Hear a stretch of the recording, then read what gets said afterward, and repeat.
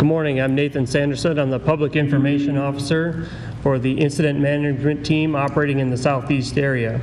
Uh, Today, we'll have a slight change in format. We'll start here down in Dakota Valley. Uh, We'll hear from Governor Dennis Daugaard. We'll go up to Pierre on the phone with Lee J. Templeton at the Army Corps of Engineers. Then we'll hear from city officials in, here at the uh, southeast area, and then we'll hear from Joe Lowe. Start off today, we'll have some comments from South Dakota Governor Dennis Daugaard. Good morning, and thank you all for covering this press conference this morning.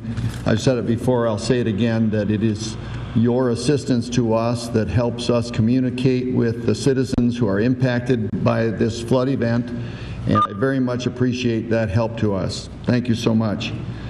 I'd like to begin with a safety message again, reminding us all that while we struggle mightily against the onslaught of this water, the struggle thus far has been to protect property, and we've had no uh, deaths as a consequence of the flood event, uh, only one significant injury that I know of, and we'd like to uh, continue that safety record of no fatalities. So please, uh, to those involved in reaction to the flood incident, keep safety as your first concern, personal safety as your first concern, and then property secondly. At the upstream uh, levels at Oahe, we are now going to see 150 CFS for the second day. The levees in the Pierre, Fort Pierre area uh, tolerated the increased flow yesterday well. Uh, There are uh, still areas of levees which are unprotected by plastic, but all levees are uh, holding well, and uh, the properties they are designed to protect are thus far protected. The National Guard on duty in the Pierre Fort Pierre area downstream of Oahe uh, will continue their uh, missions of surveilling the levees. They walk the levees uh, all day and all night long in uh, day shift and a night shift to report any incidents. There have just been some minor reports requiring a plastic repair here, uh, some concern about the uh, look of the land underneath the levee, which was, uh, as it turned out, uh, not a matter of concern. But the National Guard will continue to surveil those uh, levees day and night. Uh, The National Guard in Fort Pierre and Pierre also continue to have a quick response force on standby. There's a day shift and a night shift. They're in their trucks, ready to move at a moment's notice. They're in their aircraft, ready to fly at a moment's notice, put their finger in the dike if any, uh, any uh, problem is detected on the levee system. In addition to the soldiers assigned to those missions, we continue to have a 50-soldier uh, unit of engineers which can aid the communities in infrastructure protection and other missions as they may arise. All told now, we will be staffing at about 250 soldiers in the Pierre, Fort Pierre area. In the southeast region, uh, downstream from Gavin's Point, uh, Gavin's Point releases are going to 140 CFS today as, as scheduled. Uh, It'll take some time for those uh, increased flows to reach the areas uh, further downstream. Certainly in the Yankton area, that impact is felt almost immediately. Downstream in uh, the McCook Lake area, Wynstone, Dakota Dunes, those North Sioux City communities, um, that impact sometimes takes as much as a full day to be felt in those downstream reaches. Sandbagging uh, has been continuing in Yankton, and sandbags have been available to residents in that area, and the Guard has been assisting with those operations. The Mud Lake Levee on the south side of McCook Lake uh, is being aided. I saw a Chinook helicopter take off today with a delivery of sandbags to continue construction of the Mud Lake levee to prevent backflow of the river into Mud Lake and and flooding adjacent to Mud Lake. Uh, The Wynstone area has been building its own levee and making progress. Uh, I was, I'm aware that there's been uh, contact with the Clay Union Rural Water, who will be on site today to draw down the, the uh, man-made lake around which the houses are surrounded to help uh, relieve groundwater pressure. And the uh, rural water will pump the lake down and uh, di- uh, release the water on the riverside of the levee. Uh, We're going to be sending National Guard, 70 National Guard soldiers to help raise the levee near the Adams Nature Area. And I know that uh, the North Sioux City, uh, McCook area, will have some information from uh, Mayor Fuchs in a minute about that. The Dakota Dunes levee system uh, continues to make progress. The south segment is at 1,100 uh, final elevation in many places. Uh, Significant riprap continues. Uh, Infrastructure protection is nearly complete. On the north segment of the levee is on track for completion Thursday night. Both segments of the levee system have plastic on some parts and riprap uh, on the southern parts. Uh, The Coast Guard, at my request, has closed boating on the Gavins Point reach from Gavins Point to Sioux City, and Game Fish and Parks will be enforcing that. Also, on the Sioux River from Sioux City to Military Road in Sioux City and North Sioux City. Uh, We chose that uh, demarcation because that street has the same name in both North Sioux City, South Dakota, and in Sioux City, Iowa. And I thank uh, Governor Heineman and Governor Branstad for jo- uh, for joining with me in that request. As I speak about closure of those, uh, of that limited section of the river, I want to remind everyone that tourism is uh, ready and open for business in South Dakota. The Oahe Reservoir is open for business. All campgrounds, all boat ramps on Oahe are open. Uh, All boat ramps and campgrounds on Lewis and Clark Lake are open and available for business.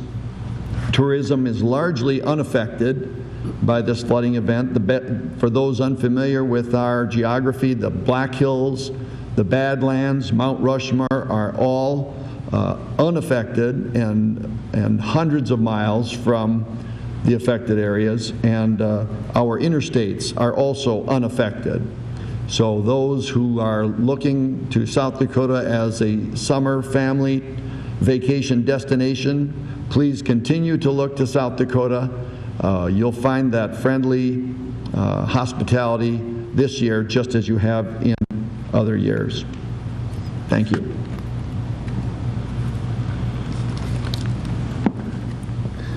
Thank you, Governor.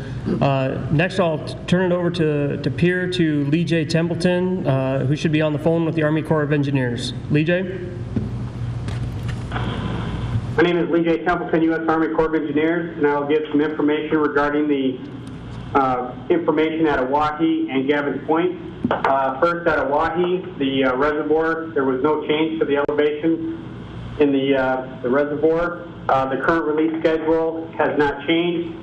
Um, We are currently releasing 150,000 CFS, which started yesterday at uh, 8 a.m. in the morning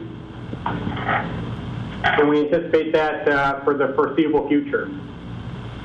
Information at uh, Gavin's Point, uh, flow increased this morning to uh, 140,000 CFS. That increase will be throughout the day. Tomorrow, or on the 10th of June, we anticipate it to going to 145,000 CFS. And on the 14th of June, reaching 150,000 CFS. Some predicted uh, river levels of the water in the uh, Yankton area. Today, we expect to get to get to 1162.6. In the Wynstone area, 1100. In the Dakota Dunes area, 1096.2. And I can, uh, the gauge reading that we're getting from the USGS gauge that was placed near Pebble Beach is, uh, right now, um, lower than those predicted amounts. Uh, that's all I had to report at this time. Thank you, Lee J. Uh, Next, with an update on the Dakota Dunes community, turn to Jeff Dooley of the Community Improvement District in Dakota Dunes. Jeff? Thank you, Nathan. Um, As the governor said, uh, the securing of our infrastructure is is near complete. Um, We are monitoring our sanitary sewer system uh, to mo- to uh, monitor the flows uh, that are coming in there to be sure they're they're uh, the equivalent of the number of people we have remaining and that we're not getting inundation from from groundwater. We'll continue that process um, throughout the day and night.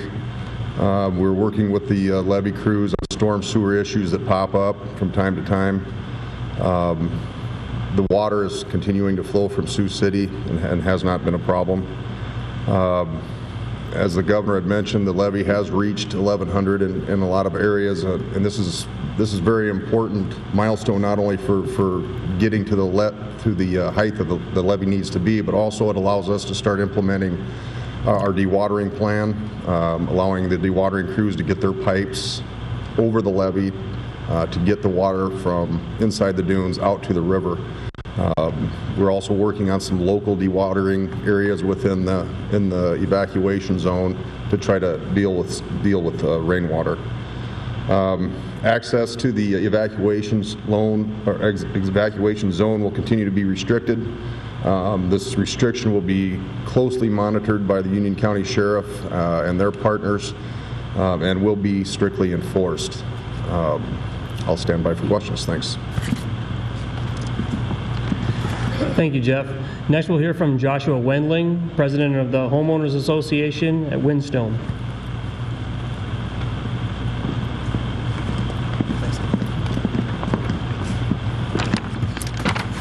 Good morning. I'll give you a quick progress report on what we're looking at at Wynstone currently. Uh, We are, currently, our biggest priority right now is building our levees to shore up some of the riverfront property that we have.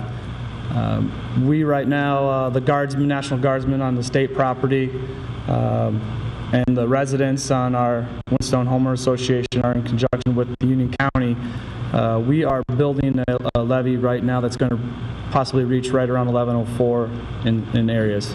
So we feel very confident that that levee will be completed here within the next day, day and a half, with plastic and sandbagged as well.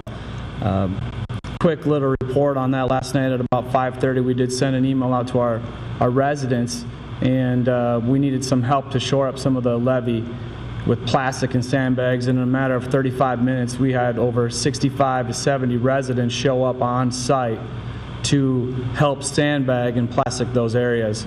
And that shows the uh, uh, support from the community uh, to try and save their property and save our community out in Wynstone. Uh, They've shown nothing but um, the state, the, Joe and his staff have done nothing but help uh, us try and figure out what we need to do and where we need to go with these uh, levees to make sure that we uh, shore up our areas of concern. And in conjunction with them, we've, we've done that. We hope to, to see these levees uh, finish in, like, like I said, the next day and a half. We also have uh, found some uh, issues, problem areas with some pumps, some low areas that do drain water from those lawyers in our community to the river. And we have purchased new pumps to go ahead and take care of that.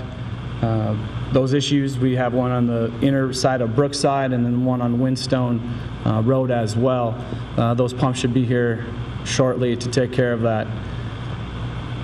We just would like to thank um, the National Guardsmen that are out there, you know, sandbagging, helping shore up those levees, and with uh, McCook Lake and North Sioux to complete that levee so we can uh, try and better sleep at night, because we're, we're doing a lot of this with residential help and volunteers. It's, um, it's been a struggle, but it's been some of the most gratifying times of my life dealing with the community.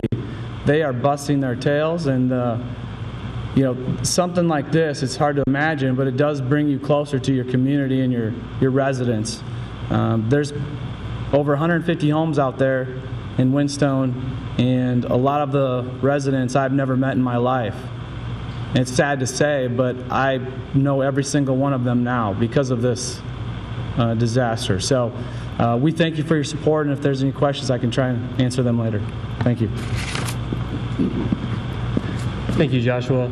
Now for a few comments on McCook Lake and North Sioux City. We'll Turn to North Sioux City's Mayor, Don Fuchsa. Thank you, Nathan. Uh, The infrastructure for the McCook Lake, North Sioux City uh, area is running as normal. Uh, City crews stand by to uh, react if any situation warrants that. Uh, I'll go into the levees now. The levee that is being constructed around McCook Lake through the Adams Nature area to tie into Wynstone has been making extremely good progress uh, with the help of the National Guard. Uh, The other levee that we are uh, watching and monitoring closely is the Big Sioux levee uh, that protects the city from the east. S- Those things are being monitored um, on a continual basis. The other comment I would like to make is that for the North Sioux City McCook Lake residents, a public meeting is scheduled for tonight at 6 PM at the elementary school. Uh, This would be for the McCook Lake, North Sioux City residents only. If anyone else in the area would like to attend, they are welcome to, and I will stand by for questions as well. Thank you. Thank you, Mayor. Down in the southeast area, we've got Joe Lowe's Rocky Mountain Team C, who's uh, providing the incident management capabilities for us. So now to discuss a a little bit broadly on the operations throughout the southeast area, we'll turn to Joe Lowe, the incident commander.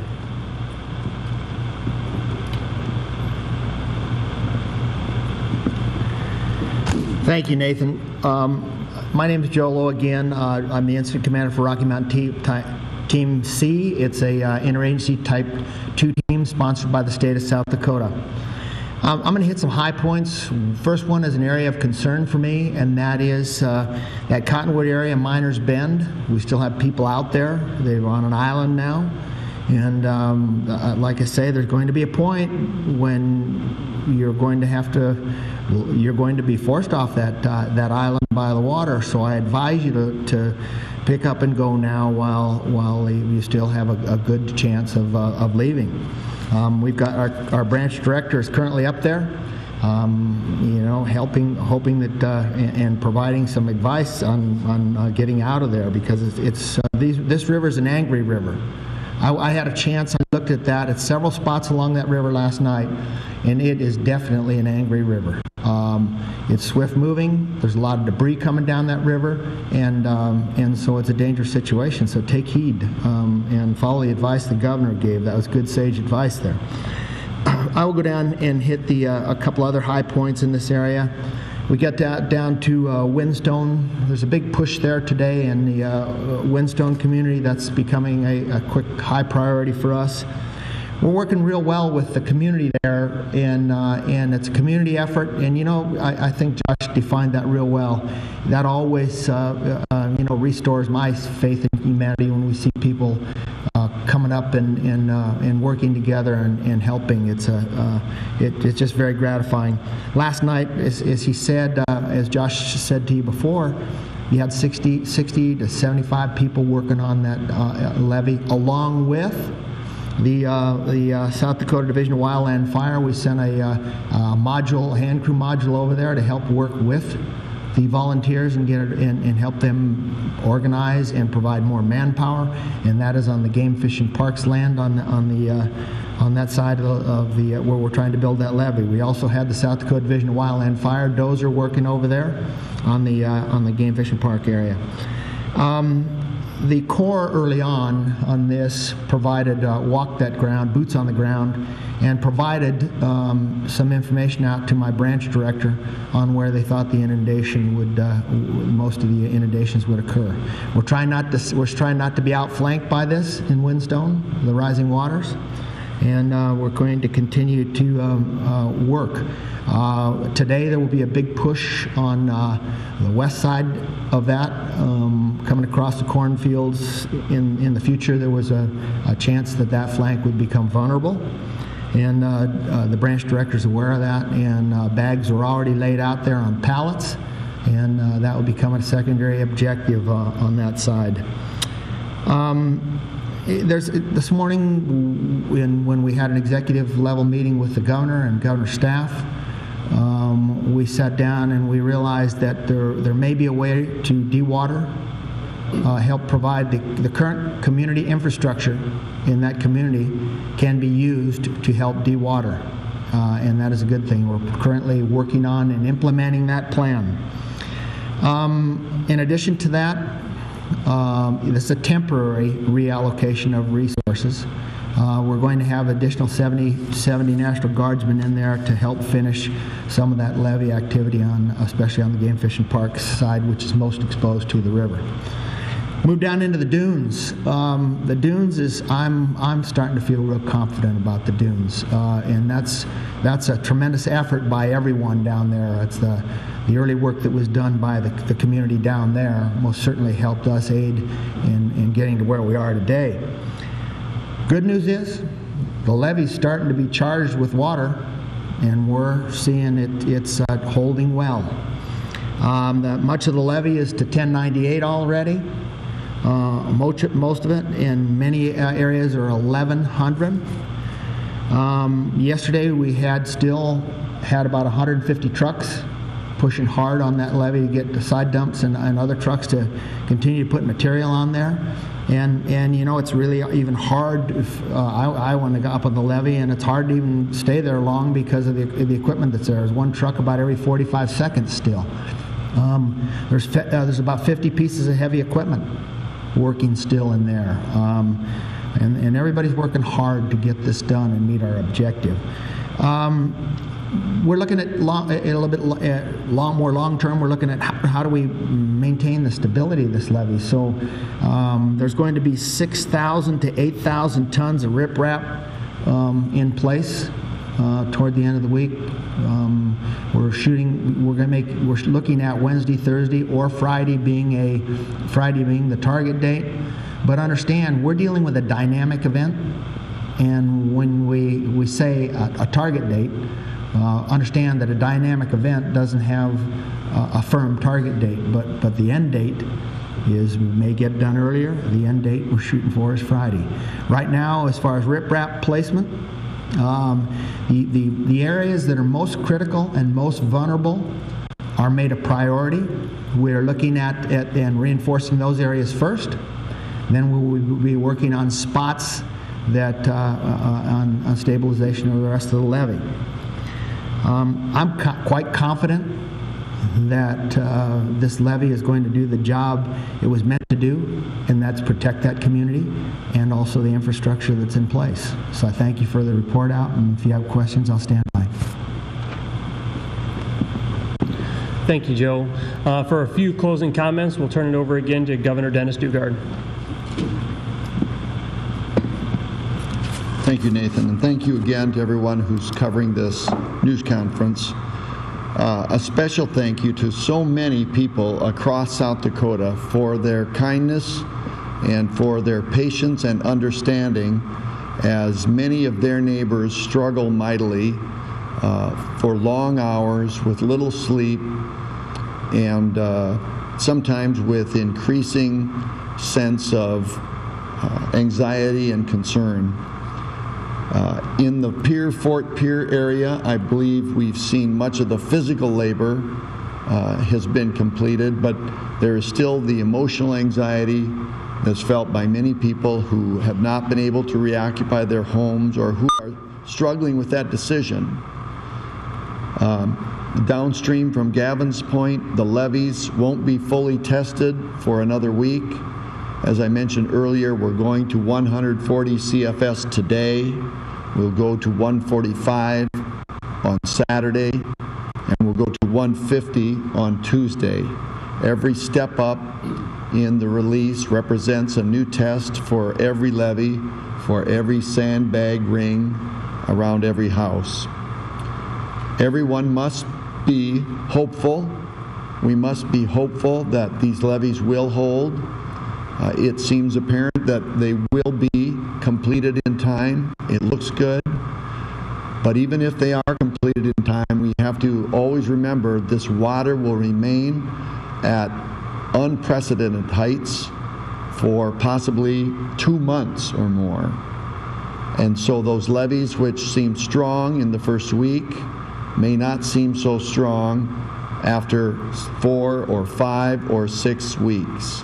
We'll see some seepage on the bottom. We'll see much groundwater pressure on basements. And so there's going to be a continued fight even past this initial uh, construction frenzy. I ask all South Dakotans to continue to be patient with each other, to be helpful and supportive to those who are in the area impacted by the flood. Um, we don't know what's ahead, but we've got each other to rely on.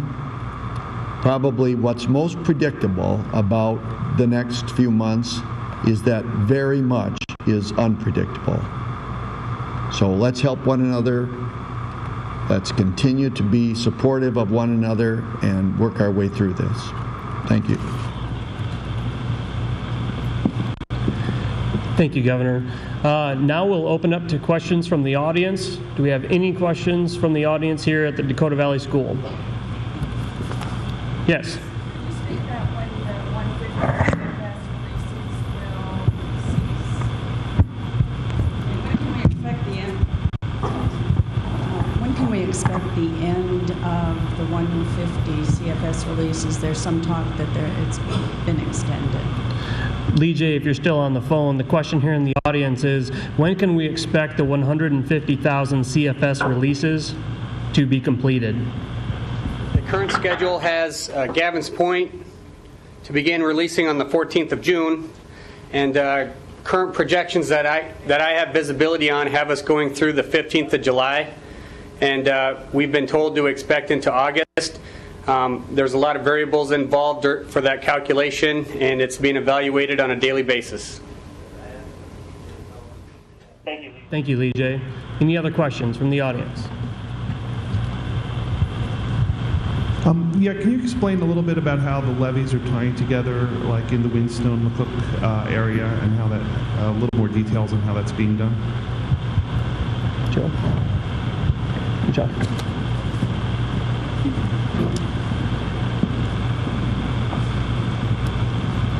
The levee that's on the, the south side of McCook Lake, uh, what we're trying to do, and we, we're pretty confident we'll get this accomplished, is to tie that levee into the levee coming from the west from Wynstone. So the North Sioux City McCook Lake levee will connect to Wynstone through the Adams Nature Area. And that's where they're deploying the sandbags and uh, to help build that up and fortify that area there. So when, when it's done and the levees are, are completed, uh, there'll be a continual levee from the North Sioux City McCook Lake area continuing through the Adams Nature Center to Wynstone to protect the whole south and west por- portion of it. Thank you. Other questions? I've been talking to Joel a little bit about this in the past. Uh, Is there, do you have any idea if there's, uh, still anything remaining in evacuation for, uh, the villages? Uh, do you have another family or anything like that? The question is, how many families do we have remaining in the evacuation area in Dakota Dunes? And, and uh, again, that- that answer right now is, but we're down to about five, okay? And, uh, and, uh, you know, that's, uh, like I said, the the governor just stated something, again, I'm going to restate it. Although we have a levee in place, there's no guarantee that that levee will hold. That is not a, a very good choice. Um, those are your family, that's your family, that's your children. And whoever's staying in those five residents that are staying in there, you're putting yourself in harm's way. And, um, and you remember there's more than you, there's your family. And so um, I, I would hope that uh, they evaluate what we're saying, realize the risk that's involved, and uh, remember that it's not just you, it's the rest of your family. And even if your family family's evacuated all already, you, you don't want to be in there and lose your life and have them to uh, deal with the, the loss. Okay, thank you. Other questions?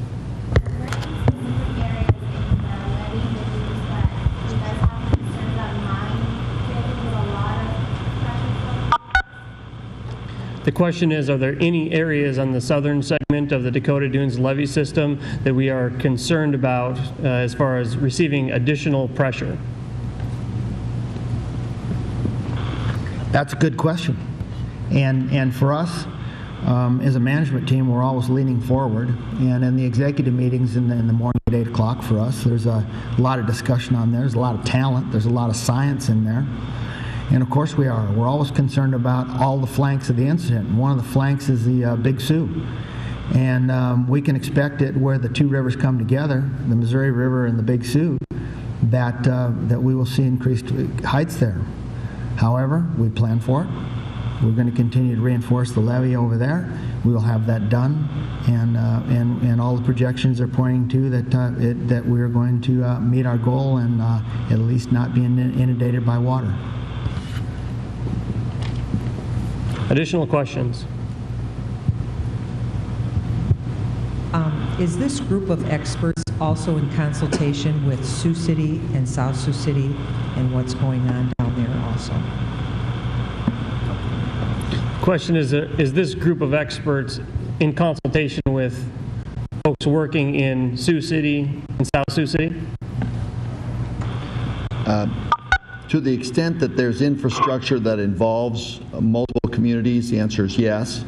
So for example, in the Dakota Dunes area, uh, they're in consultation with other communities that serve their sewage treatment, uh, that provide an additional access point for uh, potable water.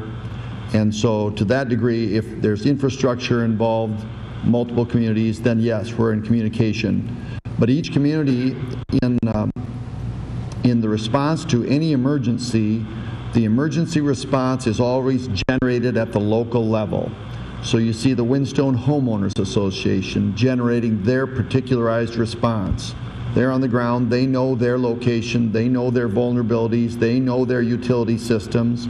North Sioux City knows its own, Dakota Dunes knows its own, and so on up and down the river. Uh, There will be times when one jurisdiction has to interact with another jurisdiction. If we want to close the Missouri River, that involves the state of Nebraska and the state of South Dakota. If we want to close part of the Big Sioux River, that involves the state of South Dakota and the state of Iowa. So there is that communication. The experts that Joe was talking about are experts uh, primarily in recent days concerning construction and maintenance of levee systems. So we have some experts from the Corps of Engineers, and at our request, those experts have stayed here and not been traded out with other Corps personnel, so we've got some continuity uh, in people uh, with whom we, in whom we've developed confidence. And we also yesterday brought in some additional resources, volunteers from the South Dakota School of Mines, and also a volunteer from the Department of Transportation who deal with foundation construction uh, of earthen foundation systems. They understand soil types, compression of those soil types. They understand when you build uh, an earthen structure adjacent to a body of water, the hydraulic pressures that are brought to bear and seepage that can occur, how you address that seepage once it does occur, how you address groundwater pressure that comes from below. All those kinds of things are the sorts of things we talk about and try to plan for, even though they haven't arrived yet. We know they'll get here sooner, uh, probably than later. And so uh, we haven't uh, we haven't initiated a lot of groundwater control yet, but we've had for several days uh, a groundwater team with lots of equipment that's being staged, and uh, some some groundwater driven by electric pumps, and then in case we lose the electric power to those single pumps, other pumps that can be driven by diesel. We talked about how those diesel generators will continue to receive fuel. All those kinds of plans, even though they're not yet ready to be implemented, are being uh, created. Joe and his team have also created uh, a levee surveillance plan, an emergency reaction plan. So the surveillance of the levee goes around the clock, just like I described it was occurring in Pierre Fort Pierre. And then you might have an emergency involving the levee. You might have an emergency involving a medical situation uh, for one of the people involved in the levee surveillance or residents that are, that are holdouts. Uh, All those kinds of scenarios, we have to think ahead, how do we get, uh, where do we stage people, where do we stage equipment, so the response can be very rapid and efficient, communication occurs when it needs to. Anyone else has a question? We'll take one more in here before we turn it over to the phones.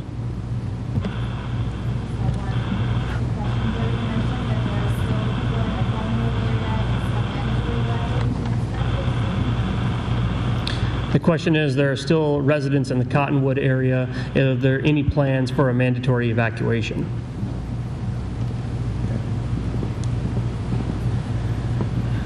There are no plans right now for that. Uh, I think that the point is, and I talked to uh, my branch director out there, where these people are hanging their hope is they had a, a, a heard a surveyor said you're going to be you're at a, some of your new homes in there are built 11 1103 1105 um, and that and that may be true but what if the survey's off like I say the sur- I don't they're, use their surveyors to establish those points you're getting a situation where um, with it, when this angry river gets to 150 cubic feet per second and large debris fall, floating down the river and everything else, you're relying on one thing, and, and you're going to soon be, be isolated in a very dangerous situation where I wouldn't want to be out on a boat trying to evacuate that island.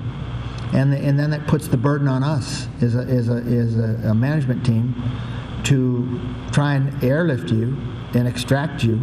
And that's not what we want. I mean, um, you've done your best. You've given it a, given it a valiant, valiant fight. I know how, how much your, you, you, your property means to you, but you know what?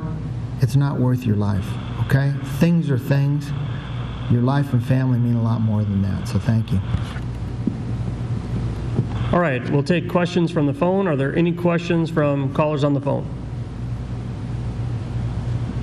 Say, this is Tony Mangan at KCCR Radio. First, Lee J, do you have elevations for Lake Oahe and and below the dam today? Yep, the elevation of the current reservoir elevation on Lake Oahe is uh, 16, 19.11 feet, which is uh, no change from the previous 24-hour period. The uh, the telemark elevation was 1434.42, and that's corrected to the 88 datum. So it's gone up a little bit, but not much. That's correct. And then follow up for the governor. Governor, can you talk a little bit about your meeting yesterday, your teleconference meeting with the legislators, and what that centered on regarding flooding? Regarding flooding.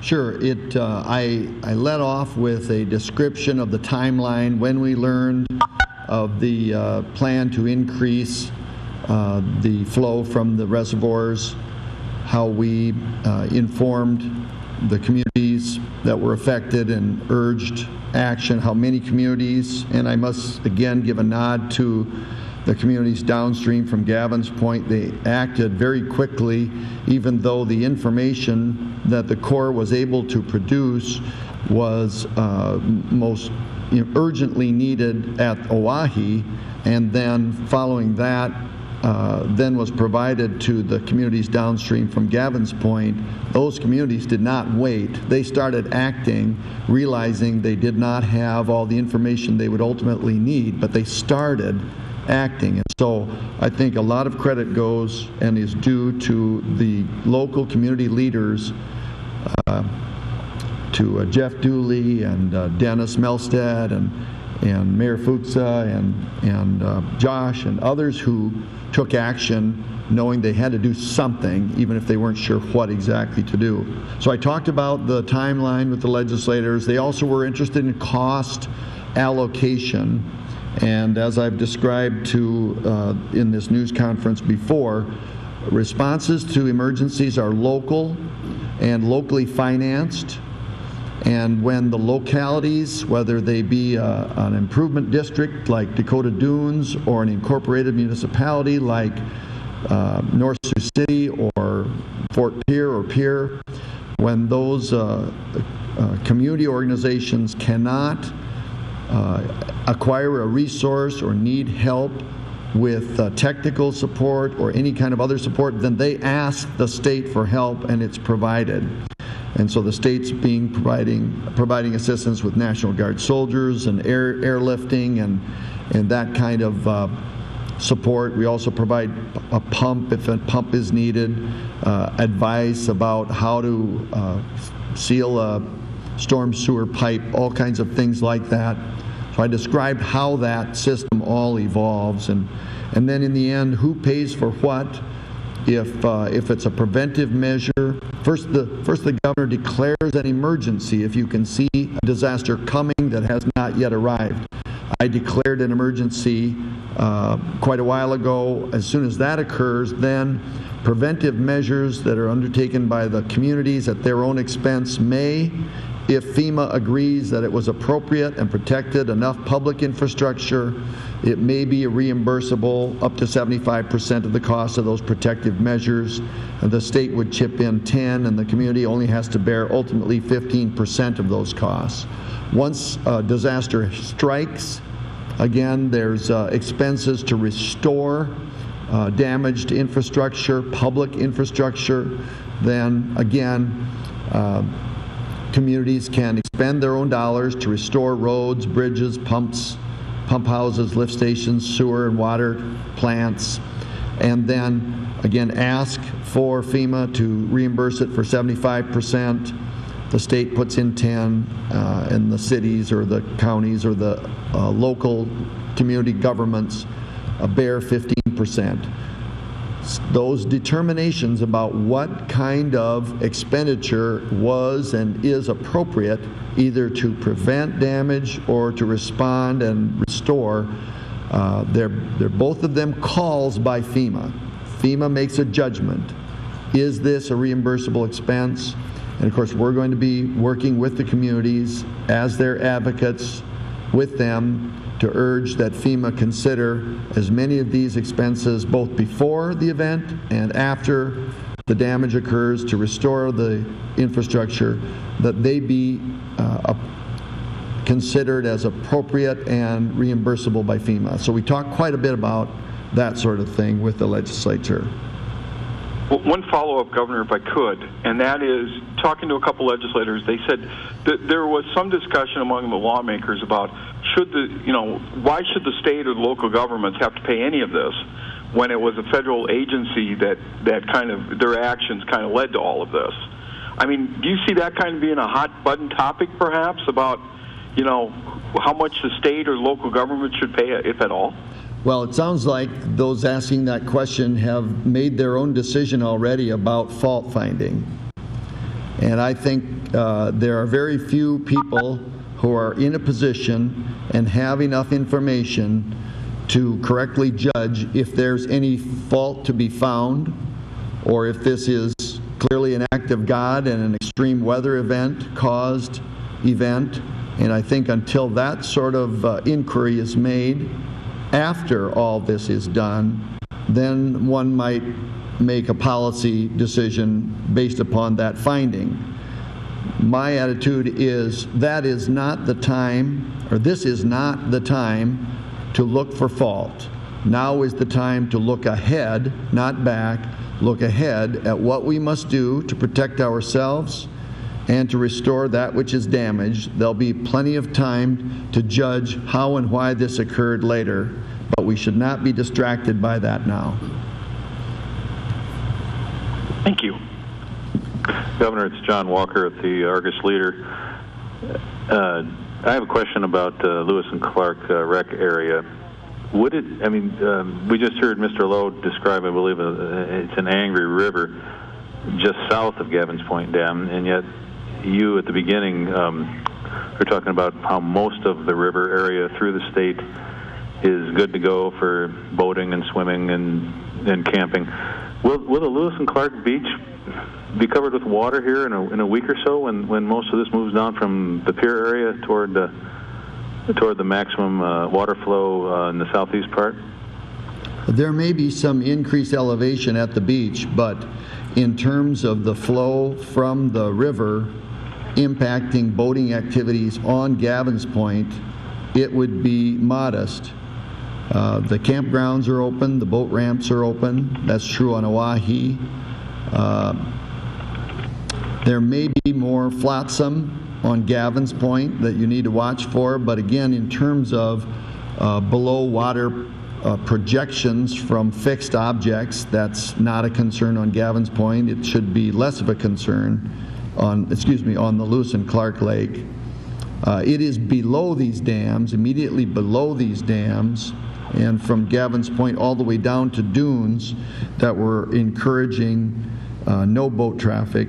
Uh, In fact, have, uh, uh, the- through the Coast Guard, forbidden boat traffic, and it's partly for security and partly for uh, safety matters. But on the reservoirs, and uh, especially upstream from Oahe, there is really every bit as good of boating and fishing opportunities, and the campgrounds are available, and we want to encourage people to enjoy those assets that we still have to enjoy.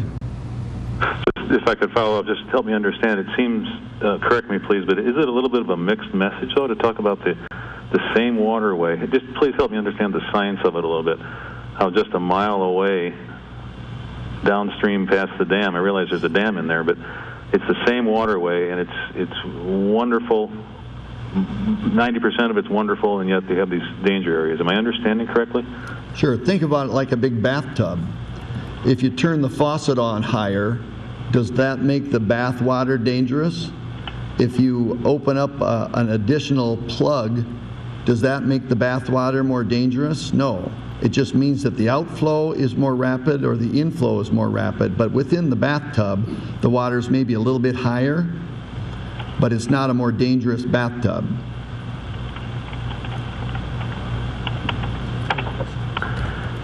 Okay. We'll take one or two more questions from callers on the phone if there are any. Any additional questions? Could I also ask about the number of holdout families? I, uh, there were five, I believe. Uh, Mr. Sanderson said, perhaps, or Mr. Lowe, five in the Dakota Dunes area, and then also in the Cottonwood area. Is that? Am I getting the numbers right, or are they one of the same group? I I can enumerate the ones in the Dakota Dunes evacuation area. There are two holdouts who plan to stay at this, at least uh, last time they were asked. And there were five that were coming and going. Uh, Their ability to come and go will end when the north levee, uh, the north section of the levee system is complete. Uh, At least for a period of time, it'll be, it'll be very difficult for them to come and go. And we're going to, uh, once they go, we're not going to allow people to enter the evacuated area. So those five comers and goers may be uh, excluded from the coming very soon. The two holdouts, I guess, they're uh, still holdouts. In the Are Cottonwood... the two are the two part of the five? Excuse me for interrupting. No, sir. Okay, thank you. And then I don't have a number on the Cottonwood area. Joe, do you? Joe's shaking his head. He's shaking, we don't have a specific number. Again, they come and go to, to their residence.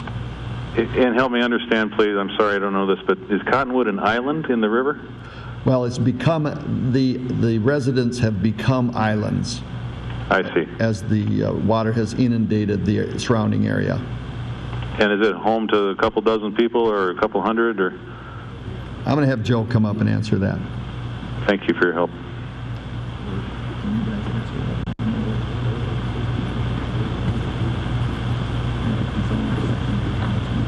We'll get you more information on that, but the- I I guess the point is, right now, it's it's a a moving target because uh, there's boats going in and out of there uh, from the uh, from the the shore to the island. The road is completely cut off, and I don't have a good number right now for you. We know it's because it's it's a floating number right now, Uh, but I know there are people on there right now. Josh says most are second homes. Most are second that is, homes. that's just upstream from Dakota Dunes, Yes, it is. uh, like a five miles or ten or. It's a couple of miles up from Wynstone. Thank you for your help, gentlemen. Okay, one final question from callers on the phone. Any final questions? Hearing none, thank you very much for your time and attention this afternoon, and we'll close it out from the Dakota Dunes, or excuse me, the Dakota Valley High School.